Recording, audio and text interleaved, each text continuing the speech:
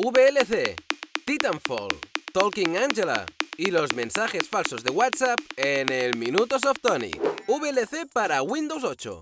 Después de más de un año de retraso, Videoland llega con la app del reproductor de vídeos más famoso en estilo Metro, con la posibilidad de reproducir clips desde unidades externas y algunos problemas de estabilidad que suponemos se resolverán pronto. Eso sí, los usuarios de Windows RT todavía tendrán que esperar. Titanfall aterriza en PC. Se trata de un shooter únicamente online que planea revolucionar su género.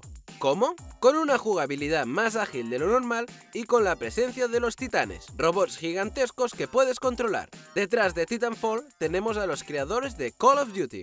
Talking Angela desmiente rumores. ¿Recuerdas el rumor falso que aseguraba que detrás de la gatita Angela se encontraban pederastas? Su desarrolladora no solo nos ha desmentido el rumor de nuevo, sino que actúa para tranquilizar.